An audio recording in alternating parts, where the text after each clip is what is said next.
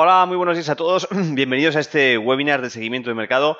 En particular, al ser inicio de la semana, eh, comenzamos el webinar de preparación de la semana.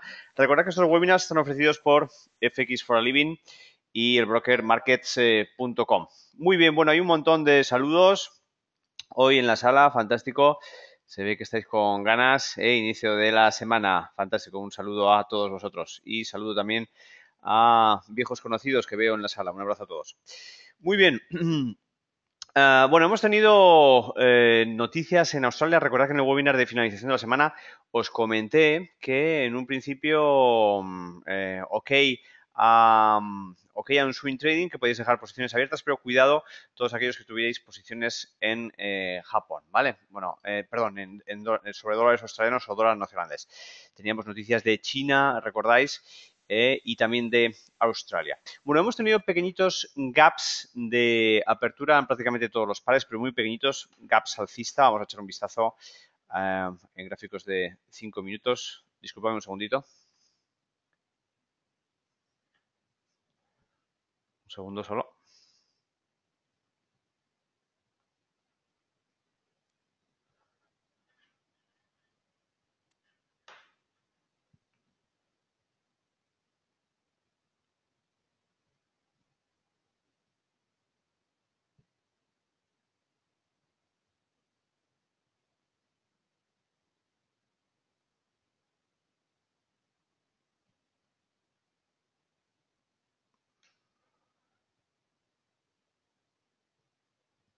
Bien, disculpad porque tengo problemas con eh, el teclado y el ratón para manejar. Sabéis que tengo varios Macs a la vez. Mm, uno de ellos es el que estáis viendo aquí en esta pantalla. Y los controlo todos desde un mismo teclado y ratón, pero a veces cuando, cuando estoy emitiendo el webinar, un segundito, me pasó también el otro día, un segundito solo.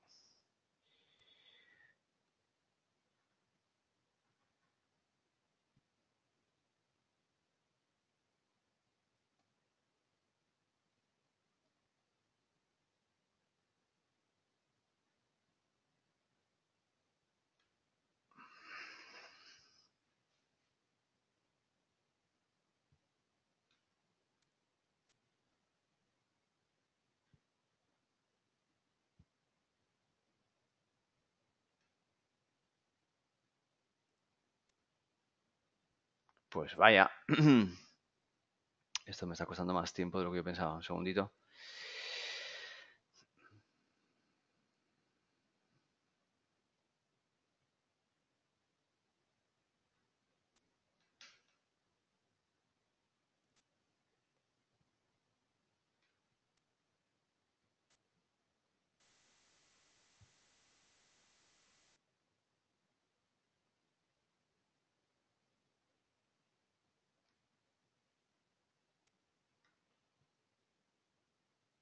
Bueno, a ver.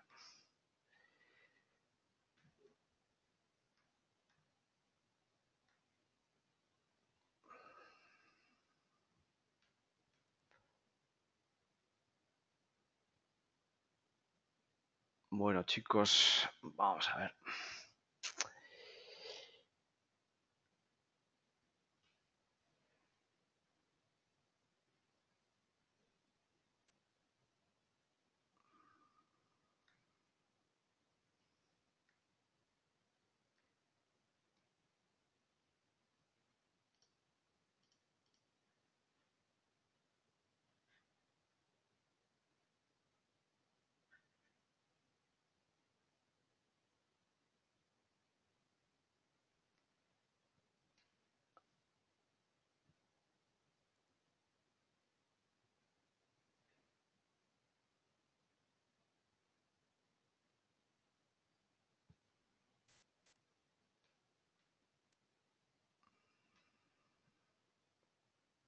Bueno, aquí estoy de nuevo. Bien, disculpad el, retraso. He tenido aquí un pequeñito problema técnico, pero ya está resuelto. Vamos para acá. Bueno, hemos tenido, como sabéis, eh, datos. Bueno, vamos a poner el calendario macro para eh, poderle echar un, vistazo. Bien, un saludo a todos los que me estáis saludando. Fantástico. Gracias a todos.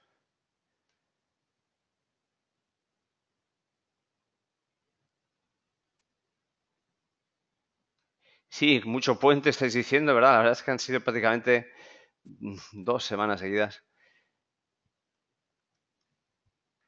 Más para unos que para otros, ¿verdad? Me refiero sobre todo a esos que vivís en Madrid, ¿eh? Ay, que me parto.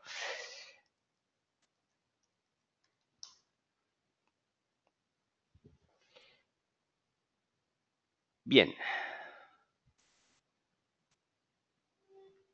Por cierto, ahora que vamos a ver el calendario macros, recordaros a todos que tenemos una semana muy interesante en cuanto a datos eh, macro, ¿vale? Con lo cual, ahora vamos a echarle un vistazo a todo y disculpad un segundito que estoy todavía terminando de ajustar el tema de la conexión entre los Macs. Algunos os estáis riendo en el chat y decís que déjate de Macs y vuelve a Windows. ¿eh?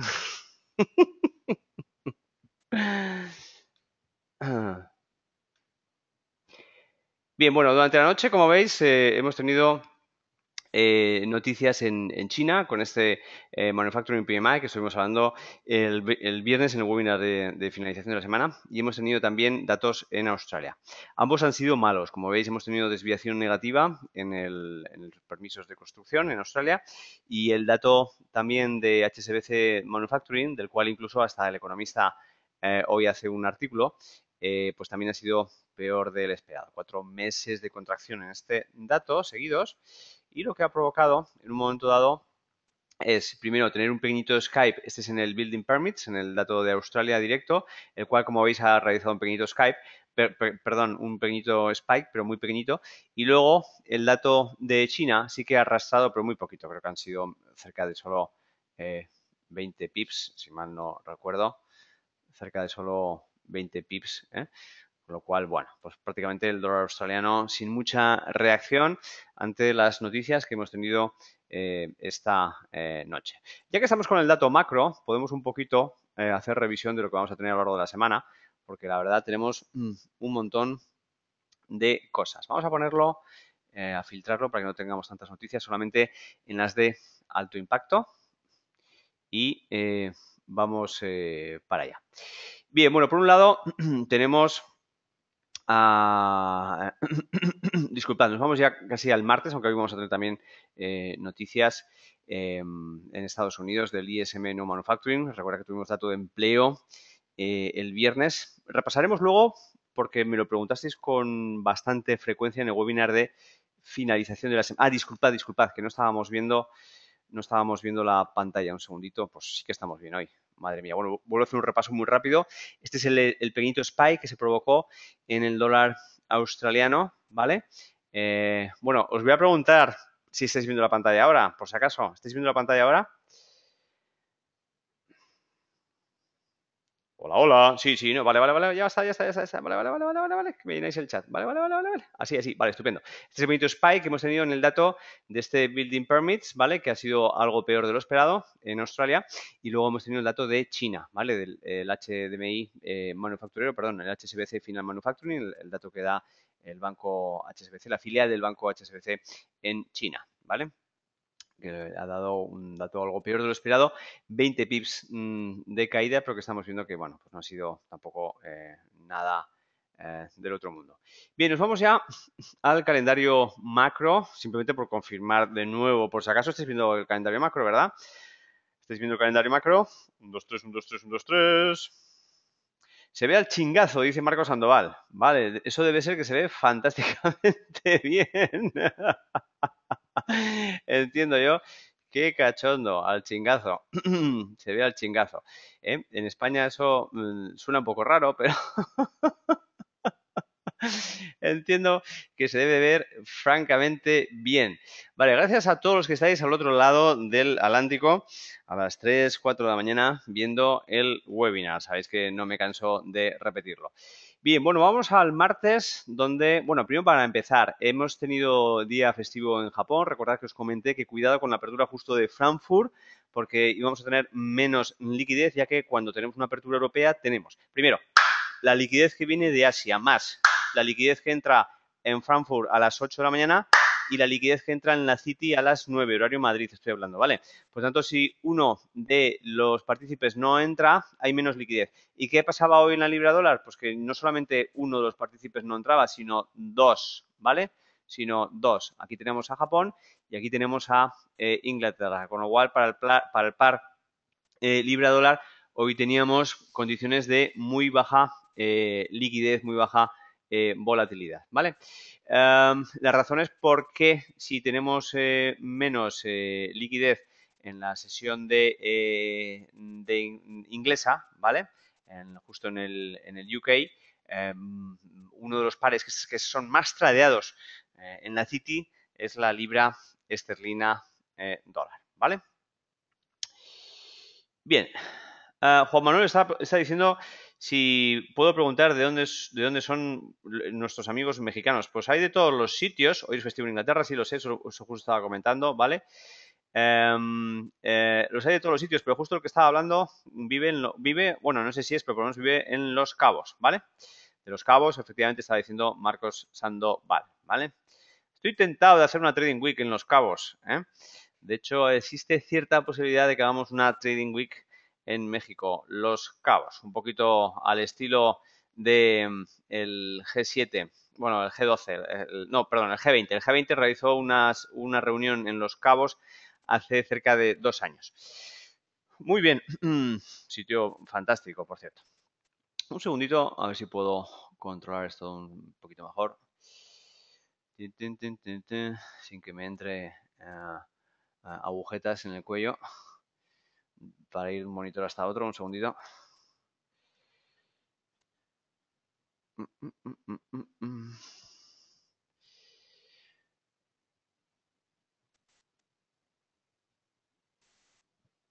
Bueno, pues parece que no.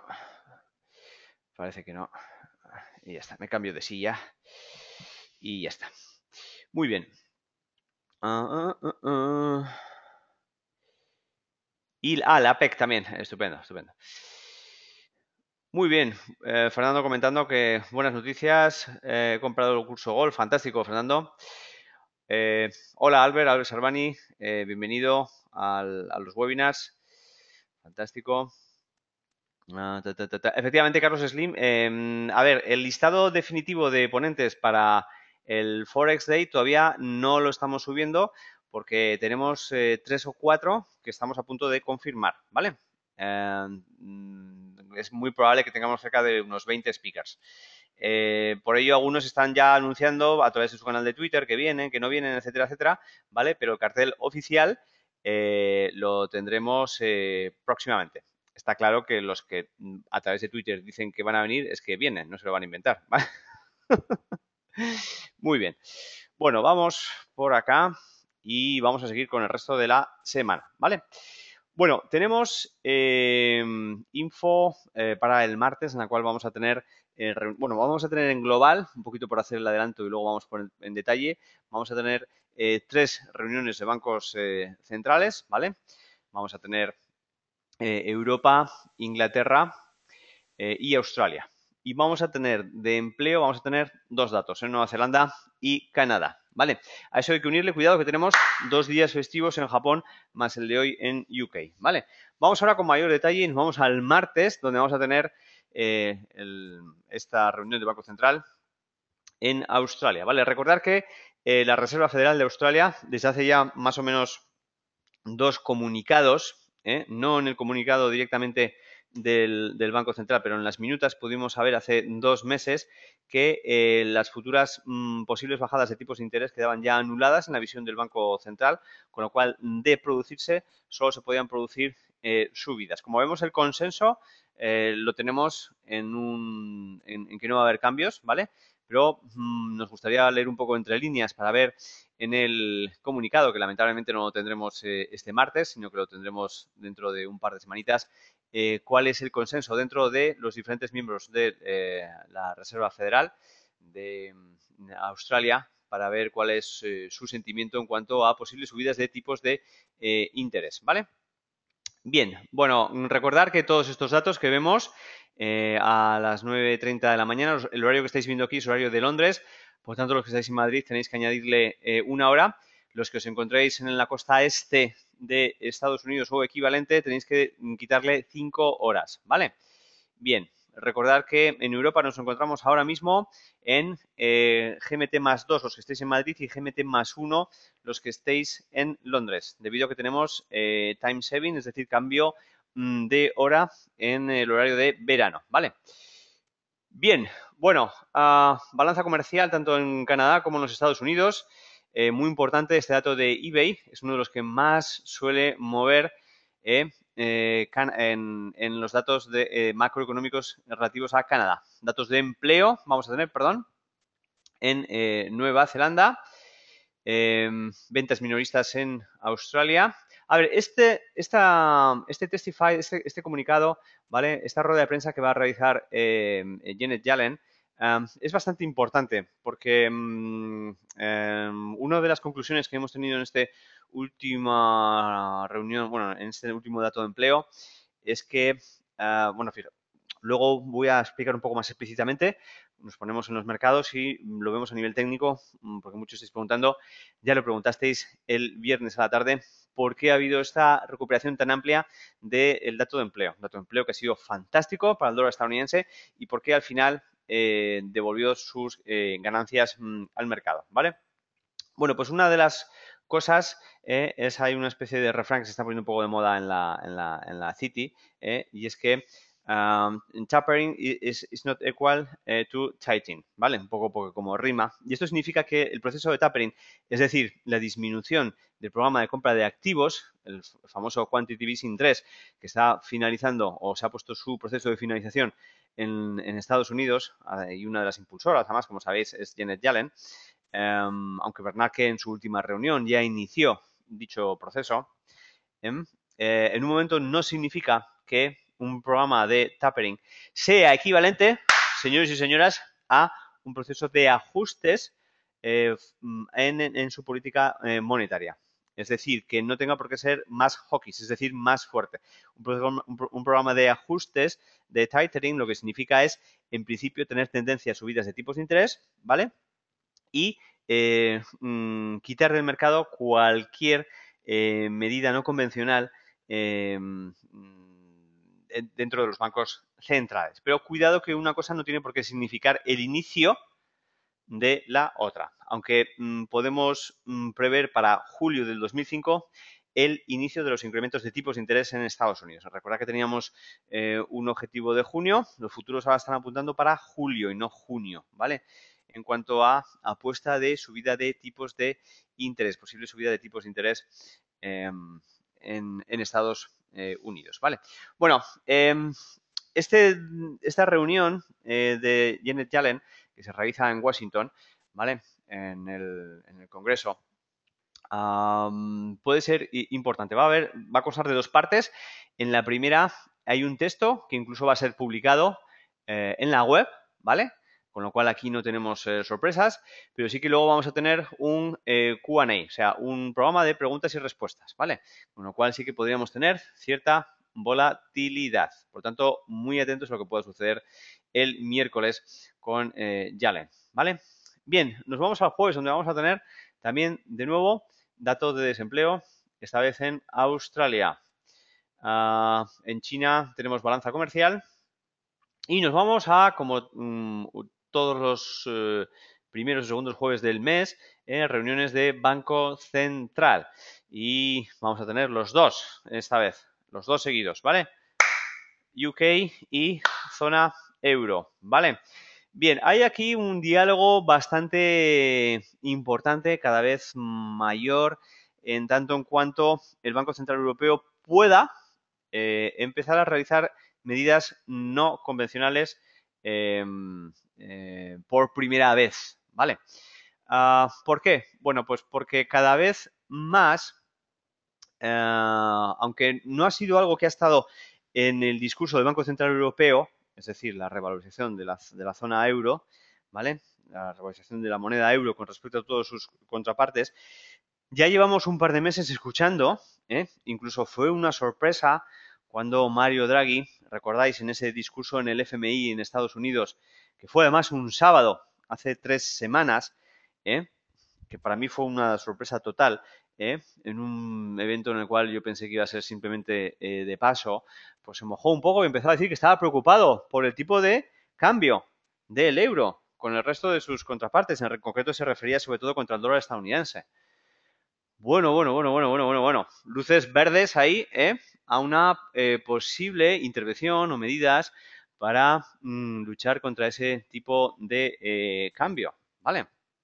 Que, como sabéis, pues eh, aunque estamos teniendo noticias buenas para el dólar estadounidense, el euro sigue estando ahí luchando el 1.37, 1.38, hasta incluso 1.39, ¿vale?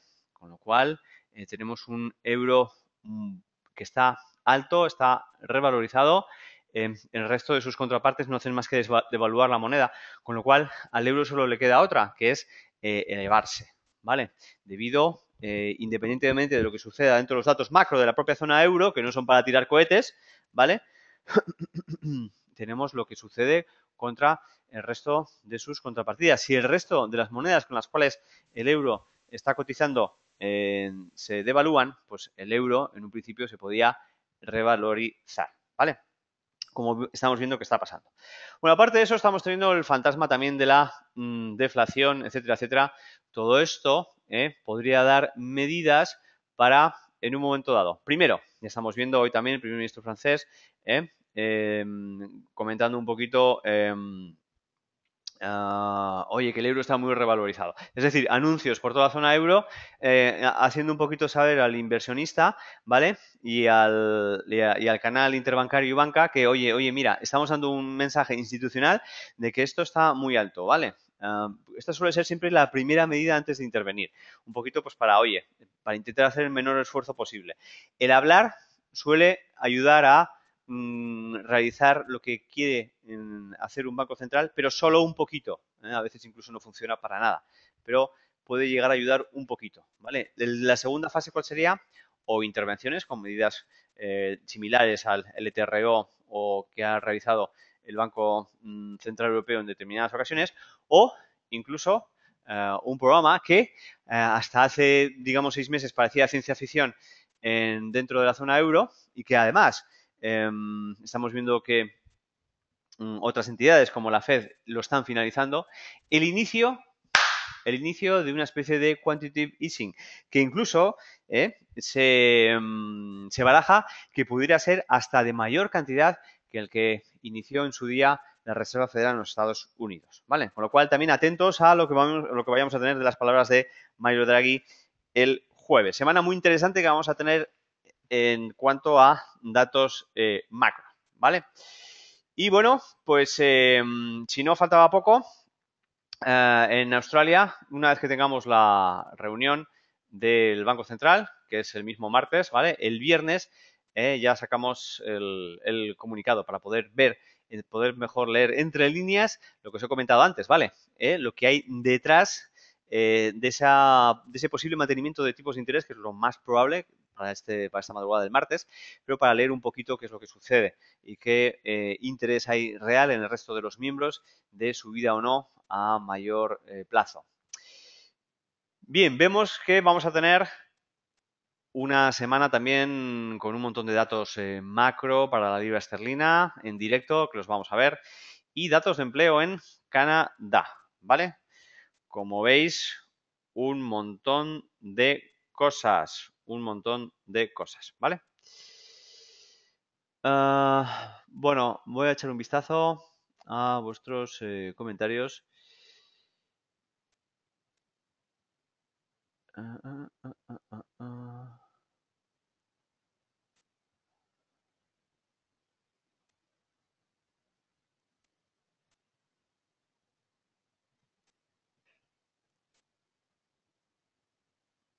Lo sé, lo sé, sí. Juan Manuel me dice que si voy a, México, que, vaya a Ciudad de México. lo sé, bueno, lo que pasa es que el, programa Trading Week que nosotros realizamos eh, normalmente lo estamos haciendo en sitios eh, vacacionales, porque lo que queremos es precisamente mm, aislarnos de lo que es la, ciudad y estar en un entorno eh, pues un poco paradisiaco, porque es un poco de las funciones también dentro de la Trading Week. Eh, no solamente es eh, aprendizaje, es también el desarrollo como personas para poder focalizar mejor tus aptitudes como, como, trader. Y para eso es muy importante estar en un entorno más o menos aislado. Sé que em, a la hora de captar gente es más fácil estar en una ciudad porque es más fácil los desplazamientos, pero no es el objetivo. Alves Albani, economistas hablan que debería estar entre 1.33 1.30. Efectivamente, cada vez hay eh, más argumentos para eh, devaluar eh, la moneda a un lado y a otro. Mm, Juan Manuel dice, viví casi siete años en México y fueron los años más felices de mi vida. Un abrazo a nuestros amigos mexicanos. Fantástico, Juan Manuel. Seguro que se van a alegrar al escucharlo. Ahora vamos a lo técnico.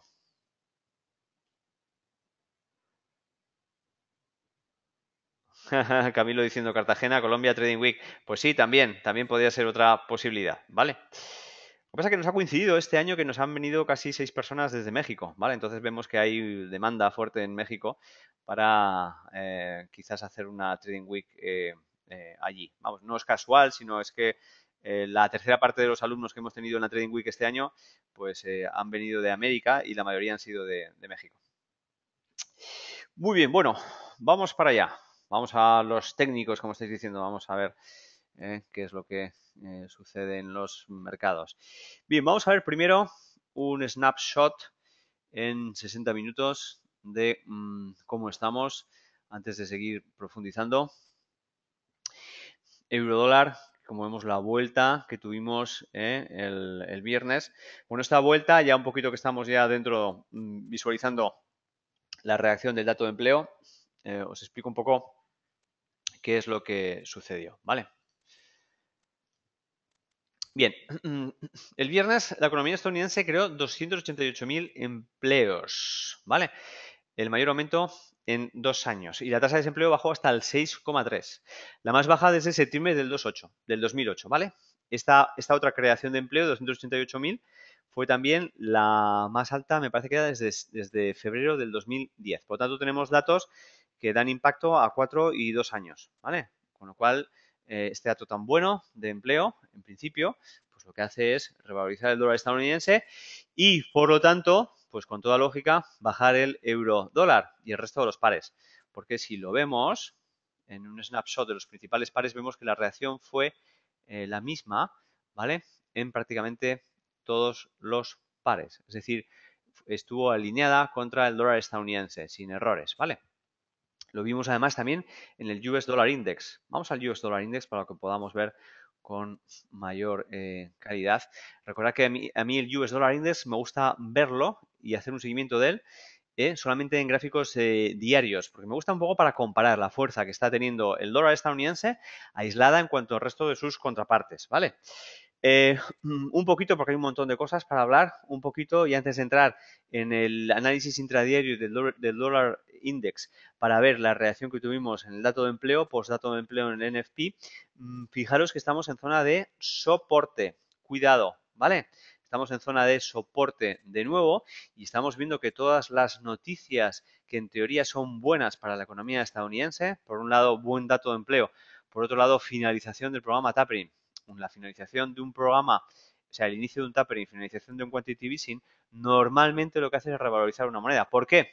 Pues porque precisamente el inicio de un quantitative easing, es decir, de una impresión de dinero en eh, una economía, en una moneda, lo que suele hacer es devaluarla. Pero cuidado, porque funcionó así bien en el Quantitative Easing 1, no tanto en el Quantitative Easing 2. Y estamos viendo que en el Quantitative Easing 3 no está haciendo ni caso, ¿vale? Por lo tanto, también esa medida que quiere realizar o que está eh, dentro de las posibilidades de realizar del Banco Central Europeo de una inyección masiva, impresión masiva de dinero para devaluar la moneda, ojo, cuidado, porque quizás no pudiera ser eh, tan activa ¿eh? y tan beneficiosa como eh, pudiéramos mm, pensar, ¿vale? Ahí estamos viendo, ahí estamos viendo cómo en un momento dado, en la zona de soporte, nos encontramos eh, muy cerquita, muy cerquita de esa zona de, soporte, ¿vale? y cuidado para nuestro trading, ¿vale? Rotura, vamos a ver cómo aguanta, eh, cómo aguanta de bien eh, en, esa zona, porque la rotura de dicho nivel pues nos podría llevar al 78 90 en este soporte de aquí, ¿vale? Recordad que el nivel que yo estoy vigilando más, que todavía estamos muy lejos, en el US Dollar Index es precisamente este 81.5, ¿vale? ¿Por qué? Pues porque fue el máximo que se produjo después de eh, que se iniciara y por lo tanto, en teoría, a nivel de fundamentales, hubiera una relación entre em, el tapering y la posible revalorización del dólar estadounidense que es cuando lo anunció Janet Yellen, llegamos a un máximo de, 81.5 y no se ha vuelto nunca a superar. Ha sido testeado, pero nunca superado, ¿vale? Mientras estamos por debajo del 81.5, las expectativas de nuevos máximos para el euro dólar son eh, grandes, ¿vale? Bien, vamos a lo que íbamos, a ponernos en gráficos de 5 minutos para ver que eh, la reacción que tuvimos, ay, perdona, perdona, que fue esta de aquí, ¿eh? fue esta de aquí. ¿eh? Vale, tenemos datos de noticias, ¿eh? mm, muy buen dato de empleo, produce un gap incluso en el US Dollar Index, pero fijaros cómo a la, hora y media, fa, mm, vuelve completamente. Por lo tanto, no es solamente la acción del par en el euro dólar, la acción del par se ha producido en todos sus contrapartes, ¿vale? En absolutamente todos. Lo vemos reflejado no solamente en euro dólar, sino en el core, que es el US Dollar Index, ¿vale? Bien, volvemos, ¿vale? ¿Por qué se produce esto? Esto se produce, como ya vimos en el webinar del viernes eh, a la tarde, pues porque en un momento dado, aunque es un dato buenísimo, si leemos luego un poco entre dientes, ¿eh? vemos que eh, en realidad hubo muchísimos menos afiliados dentro de mm, la masa de empleo de los Estados Unidos, con lo cual el dato tenía cierto truco, entre comillas, ¿vale? Y por otro lado, la frase con la cual he iniciado el webinar esta mañana, tapering equal not tithering, ¿vale? Es decir, todo esto ya lo sabemos, em, los analistas dicen, bien, bien, vale, tenemos un muy buen dato de empleo, pero ¿de qué me sirve si eso no significa que em, se pueda producir un tithering mayor, es decir, mayor fortaleza dentro de las medidas eh, del Banco Central de los Estados Unidos, ¿vale? Muy bien. Bueno, ah, un vistazo. Ah, no, dale en play, está, estoy, está, bien, está, eh, eh, está bien, está en directo y está en modo play, ¿vale? Así que si alguien no lo está viendo, Marcos, será problema vuestro. ¿Estáis viendo el VIX ahora? Por si acaso. ¿Estáis viendo el VIX? Bueno, estabais viendo el VIX, ahora el euro yen. Sí, vale, estupendo. Bien, bien, bien, bien, bien, bien, bien, bien, bien, bien, bien, bien. Antonio Otero, soy mexicano viviendo en Santa Clara, California. Fantástico. Me encanta que haya espectadores, traders de todas partes del mundo. Fantástico, fantástico. No estoy de acuerdo. Juan Manuel dice, escuché que la vuelta fue tras el data de empleo se debió al agravamiento el viernes por la tarde de la crisis de Ucrania. ¿Estás de acuerdo? No, no, no, no. Y además, eh, no solamente es mi, mm, mi argumento, sino que lo he revisado eh, con prensa internacional y todos más o menos estamos de acuerdo en lo mismo. ¿Vale, Juan Manuel? En, MT4 se puede ver el VIX. Marcos pregunta, sí, a través de la plataforma markets.com. De hecho, yo mismo fui, fui el que solicité que pusieran el subyacente eh, VIX eh, dentro de la plataforma de MetaTrader con markets.com, ¿vale? Podéis incluso hacer trading con él, no solo verlo, ¿vale? Camilo dice, ¿por qué se ven algunas pocas barras de color azul, algo en especial? No sé muy bien a qué te refieres con lo de color azul. Si te refieres antes al gráfico que estábamos viendo del VIX, es que tiene menor liquidez que eh, un par como el euro dólar, ¿vale?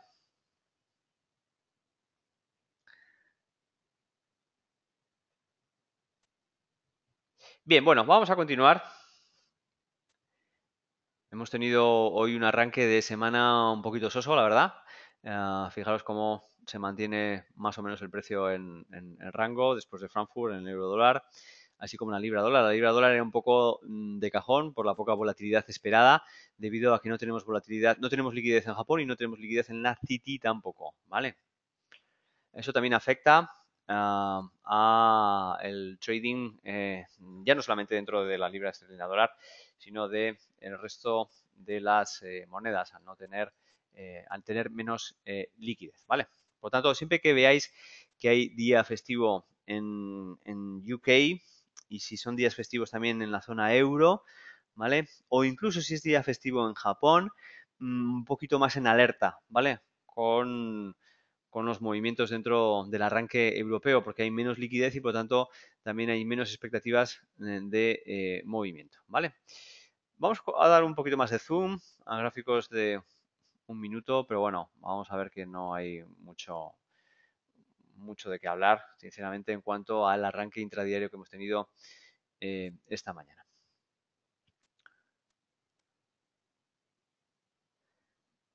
Bien, fijaros la libra dólar incluso con qué definición de vela es tan patético, ¿eh? debido a la poca liquidez. Es muy poco normal ver esta indefinición de velas que mm, lo que están mostrándonos es falta de liquidez a esta hora de la mañana. Estábamos viendo la libra dólar. ¿eh? El euro dólar sí que ha tenido un, intento de ataque alcista, pero con muy poco rango, aunque aquí veamos que el movimiento es eh, fuerte no nos ha dado más que 8 pips, no es nada, ¿vale? Y el euro yen, sin embargo, sí que en un momento dado ah, ha dado ciertos eh, movimientos muy poquito tarde después de, Londres. ¿eh? Vemos que ha realizado nuevos máximos, pero con divergencias y ha terminado eh, cayendo. Fijaros dónde está parando ahora mismo. ¿Dónde está parando? Pues en zona de soporte. Disculpadme que estoy un poco más patoso porque no puedo manejar este Mac hoy desde mm, mi teclado habitual y lo estoy haciendo desde el trackpad, ¿vale?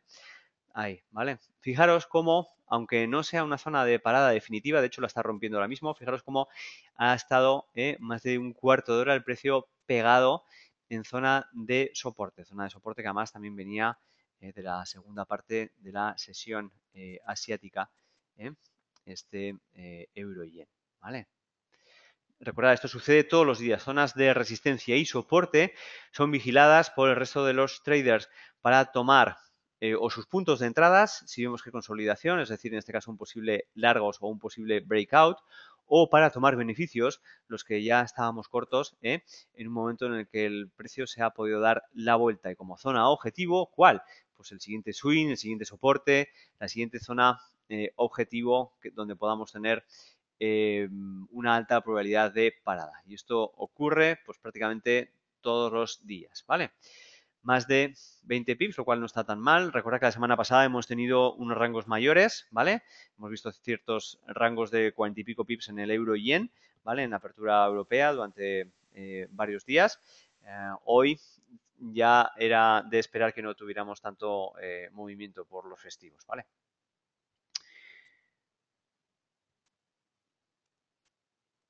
Efectivamente, Miguel Gómez, Aitor Masa, días como hoy es mejor no operar, ¿vale?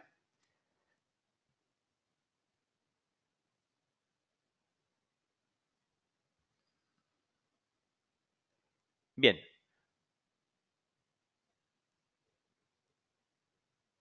Disculpame un segundito.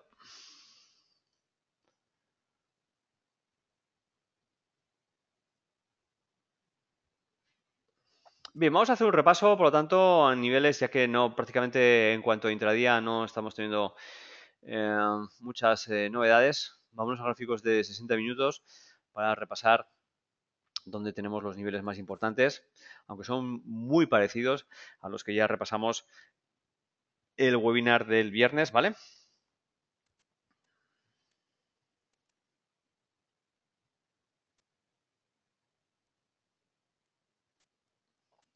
Claudio comenta, eh, en el OSI, en H1, según el sistema 3 o multitud de Greg Michalowski, estaría dando señal de un movimiento fantástico. Recordar que en, eh, nuestro canal de YouTube podéis ver también los eh, vídeos de las intervenciones del mm, Forex Day, ¿vale? Y una de ellas es la de Greg Michalowski. Bien, libra dólar, podríamos decir que es quien tiene el aspecto más interesante Em, actualmente. Recordar que la semana pasada testeamos el 1.69, ya no solo testearlo, sino eh, que hubo eh, máximos pues hasta 20 pips por encima de ese 1,69 y además con un poquito más de eh, firmeza, porque estábamos viendo que en los últimos meses, cada vez que teníamos un nuevo máximo en libra esterlina dólar, pues prácticamente caía a los muy poquitos pips. Esta vez ha sido un poquito más firme, ¿vale? Recordar que si este 1,69 se mantiene, ¿eh? aunque hoy no tenemos mucha novedad, fijaros que estamos justo en el mismo precio que cuando hicimos el webinar de finalización de la semana, estamos más o menos iguales, ¿vale? Esto es muy importante. ¿Por qué es muy importante este nivel 1,69, por lo tanto su relativo 1,70? Pues nos tenemos que ir hasta gráficos eh, diarios y ya no solo diarios, sino incluso ni semanales, mensuales, vamos a verlo ahora mismo, para ver que aquí estamos en diarios, en la libra esterlina dólar, ¿vale? Vámonos a semanales para ver que em, estamos por encima de los máximos que tuvimos en 2011 y fijaros, este nivel de aquí ¿eh? que está dibujado con esta resistencia en color naranja, es sumamente importante. Es el 1,70, ¿vale? Es un triple cero y mm, nos marca en un principio eh, el máximo nivel que hubo en el pullback después de la crisis financiera. Eh, y además un swing muy fuerte, con lo cual es una zona en que tenemos que vigilar. ¿Por qué, ¿Por qué, es una zona que tenemos que vigilar? Vamos a ver. Em, cuando tuve el placer de dar el curso en el, en el Palace eh, con la gente de markets.com, también vino Bill Heward desde Londres, ¿vale? Y eh, la gente de Web Financial Group vino desde, desde Londres a hacernos una entrevista a los dos, ¿vale? Y Bill Heward, porque los dos hablamos del 1,70, ¿vale? ¿Por qué? Porque fue justo además a la semana o dos semanas de ese famoso Inflation Report que hubo hace tres meses, en el cual eh, teníamos la, primera, la primera expectativa de un banco central dentro del G7 que iba a realizar subida de tipos de eh, interés, ¿vale? Por lo tanto, eh, además lo, teníamos con una expectativa de más o menos un junio del 2015. Eso le dio un aire muy alcista a, a, a UK, a la libra dólar, ¿vale? y em, todos estábamos viendo que esa revalorización tan fuerte que habíamos tenido pues podía llegar al, 1,70. Vale, pues Bill Hubbard nos comentaba, él vive en la City, ¿vale? Que eh, el 1,70 es un nivel que está muy, muy, muy, muy vigilado por eh, todas las manos eh, fuertes, todas las manos grandes dentro de la City, ¿vale? Y que la rotura de un nivel 1,70 es muy improbable en tanto en cuanto hay órdenes gigantes de venta tocando dicho nivel, lo cual es eh, francamente entendible, eh, siendo un swing tan relevante porque fue justo el máximo que pudo producirse después del pullback de la eh, crisis financiera, ¿vale? Con lo cual, atentos a un toque al 1.70 porque nos puede dar mm, unas zonas eh, de escape muy fuertes, es decir, se pueden producir zonas de rechazo en 1.70 muy fuertes. Pero también muy atentos porque si al final aguanta y se produce un breakout, el, el breakout puede ser también enorme, ¿vale? Con lo cual es doblemente importante recordar que aunque estéis en intradía, porque muchas veces me preguntáis intradía, intradía, intradía, vale, estupendo, pero es muy importante que aunque estéis en intradía, por favor, nunca olvidaros de los hermanos mayores.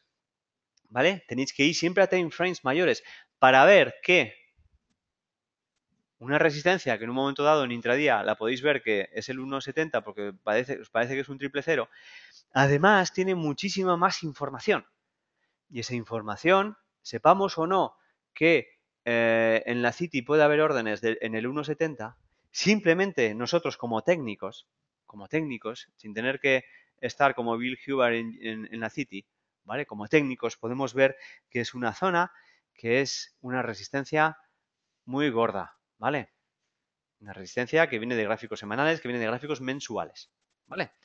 Así que siempre que estéis en intradía, tenéis que vigilar el largo plazo. Por supuesto que el largo plazo no tenéis que estar vigilando cada cinco minutos. Muchas veces con una vez a la semana es suficiente, pero lo tenéis siempre que tener eh, en vuestra eh, consideración, ¿vale?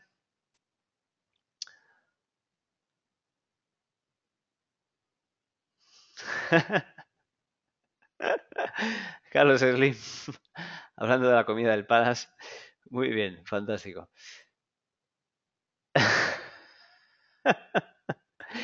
Ay, qué cachondos que sois.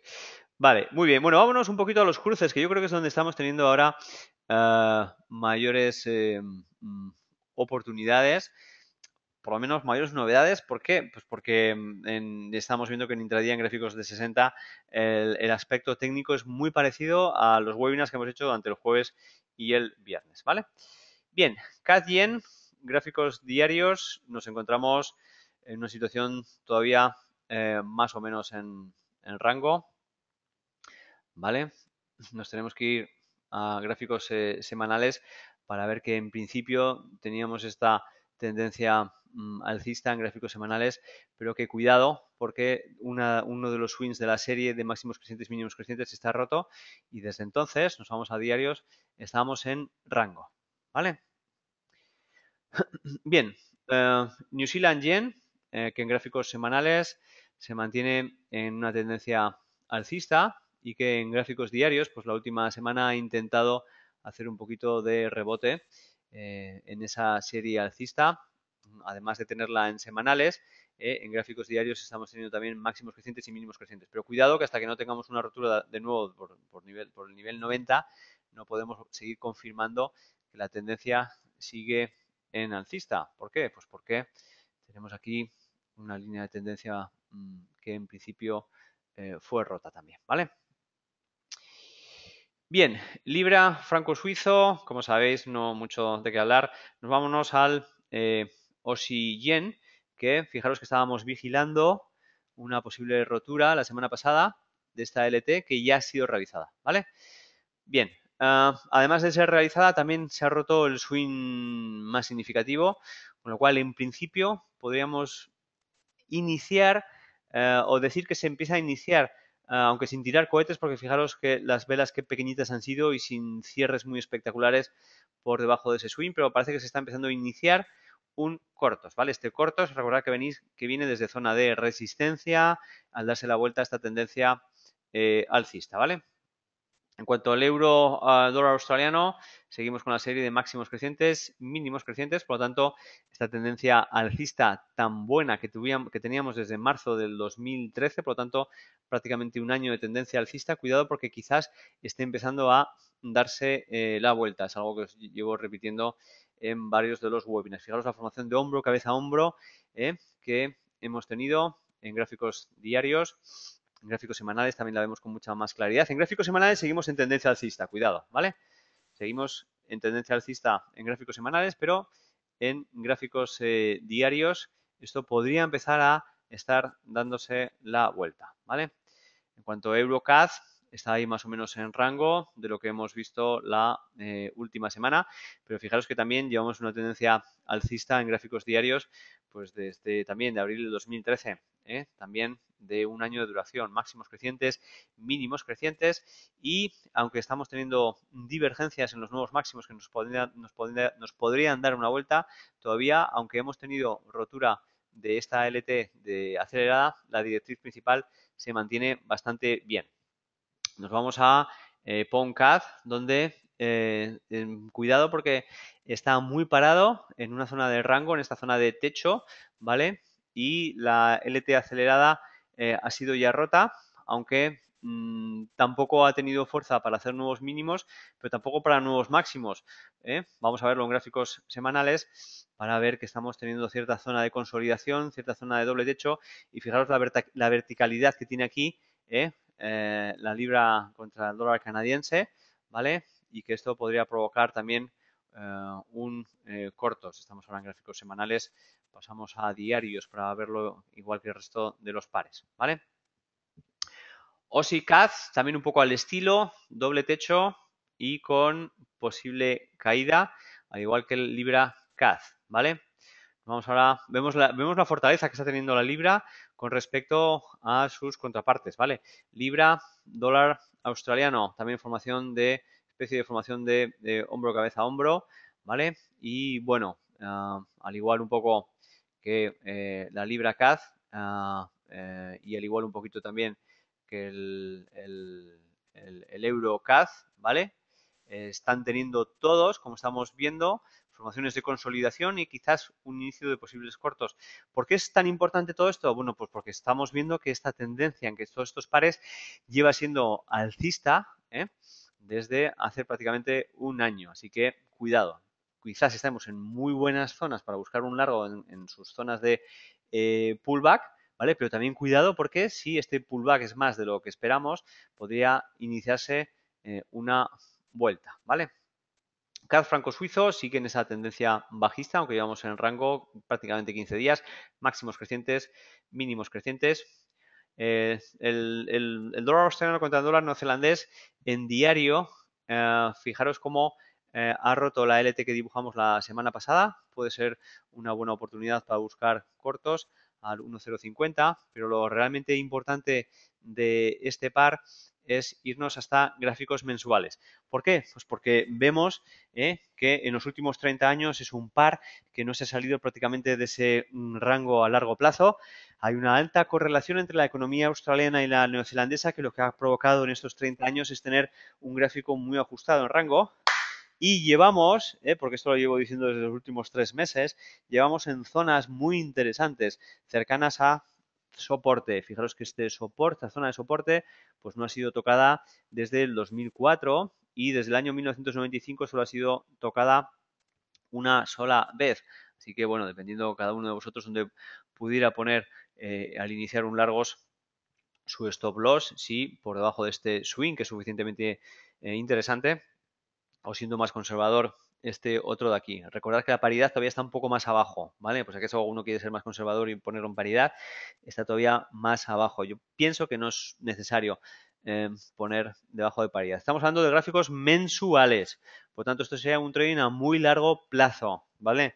Eh, not switchables for every trader, es decir, que no eh, es mm, propicio para mm, todos los traders. Primero, por la paciencia que hay que tener en cuanto al desarrollo de su operación y lo segundo por la capitalización, porque no todo el mundo va a tener eh, cash para aguantar un stop de varios miles de pips, ¿vale? Pero el, potencial de, largos en este par es eh, abrumador.